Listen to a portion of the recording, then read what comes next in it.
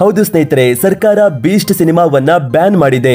Cinema ರಿಲೀಸ್ಗೆ ಒಂದು ವಾರ ಇರುವಾಗಲೇ ಕುವೈತ್ ಸರ್ಕಾರ ಬೀಸ್ಟ್ ಸಿನಿಮಾವನ್ನ ಬ್ಯಾನ್ ಮಾಡಿದೆ.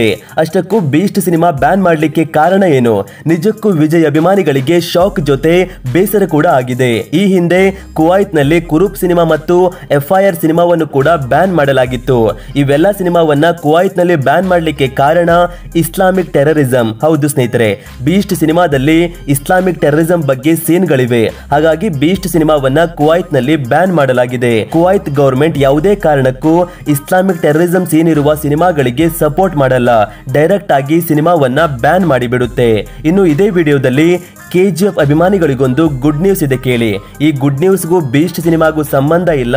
ಎರಡು ವಿಷಯವನ್ನ ಒಂದೇ ವಿಡಿಯೋದಲ್ಲಿ ಹೇಳೋಣ ಅಂತ ಈ ವಿಡಿಯೋ ಮಾಡಿದ್ದು. ಕರ್ನಾಟಕದಲ್ಲಿ ಇದೇ ವಾರ ಕೆಜಿಎಫ್ ಆನ್ಲೈನ್ ಟಿಕೆಟ್ ಬುಕ್ಕಿಂಗ್ ಶುರುವಾಗಲಿದೆ.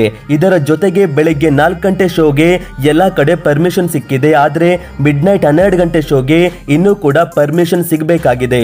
ಕರ್ನಾಟಕದಲ್ಲಿ ಕೆಲವೊಂದು ಕಡೆ ಮಾತ್ರ ಮಿಡ್ ನೈಟ್ ಶೋ ಇರಲಿದೆ. ನಾನು ಕೂಡ ಮಿಡ್ ನೈಟ್ ಶೋಗೆ ವೇಟ್ ಮಾಡ್ತಾ ಇದ್ದೀನಿ. ಇನ್ನು ನಿಮ್ ಕಡೆ ಕೆಜಿಎಫ್ ಮಿಡ್ ನೈಟ್ ಶೋ ಇದೆಯಾ ಇಲ್ವಾ? ಅಥವಾ ನಿಮ್ಮ ಥಿಯೇಟರ್ನಲ್ಲಿ ಫಸ್ಟ್ ಶೋ ಯಾವಾಗ ಶುರುವಾಗುತ್ತೆ ಅಂತ ತಪ್ಪದೆ ಕಮೆಂಟ್ ಮಾಡಿ.